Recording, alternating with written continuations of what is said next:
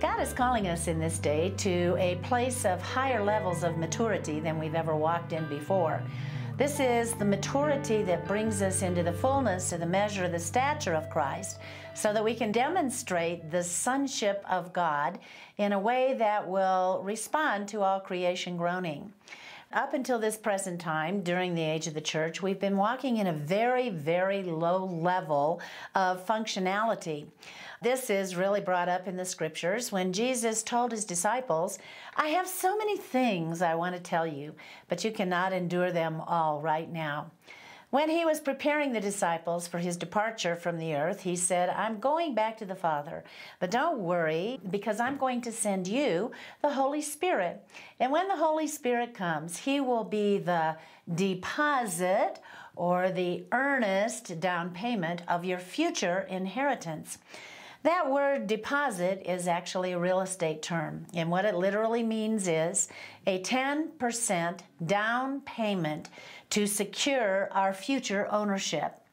That means in the last 2,000 years, the church has been operating in what we would call a 10% level of functionality. We've been operating as very immature Christians. But glory be to God, when the Lord broke us out of the age of the church and initiated the age of the kingdom, He began to open up to us the mysteries of God that have been hidden in Christ since the very beginning. According to Ephesians 1, one of those mysteries is Christ in us, the hope of glory.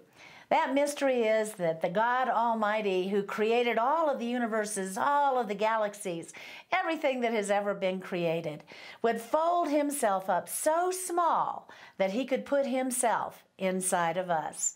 The good news for us is at the beginning of this year, which is a year of great breakthroughs, that God who folded himself up so small that he could put himself inside of us is now beginning to unfold. We've been in this very low level of maturity for a reason, and that reason is that to everything there's a time, a purpose. To everything there is a reason, and even to the low level of maturity that we've been walking in, there has been a purpose. The Lord could not reveal to us the fullness of our sonship and the glories of the dominion that He designed us to walk in until we reached an age of maturity. If your son came to you and said at three years old, Daddy, I want the keys to the car, are you going to give him the keys to the car? I don't think so. And the reason is because he is not yet responsible enough to handle the car without doing damage to others. If the Lord had revealed to us in the very beginning who He intended and created for us to be and what levels of functionality He designed us to operate in, we would have already destroyed the earth many times over already. We are now entering into the age of maturity or stepping into an acknowledgement and awareness of our sonship in God. In the age of the church, we were taught we were just human beings having a spiritual experience. But the real truth of the matter is, we're actually spiritual beings having a human experience. We're just passing through here. It's a momentary flash in the pan. But the things that the Lord is opening up now, which will give us the keys to the gates of the mysteries of God, are so much bigger, so much higher, so much greater, so much more powerful than anything that we have ever walked in before, that we're going to be completely and totally amazed. In order for us to be prepared to step into that, we have to give ourselves to God in whatever place, in whatever capacity He desires, and in whatever measure we can in order to yield to the high calling that He has put on us as the manifested sons of God.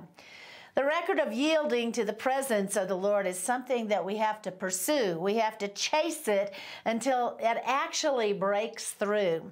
If we try to yield too soon or we try to do it under our human strength, we'll not be at the place that we need to be because we have not yet reached that place of breakthrough. There is a place called breakthrough. And when we break through into the mysterion of God, we're going to be completely overwhelmed by the power that He delegates to us governmentally to rule and control and take dominion over all of the earth. It's only in this place of breakthrough that we can actually yield to Him totally. Hi, I'm Nancy. I just want to thank you for joining us today.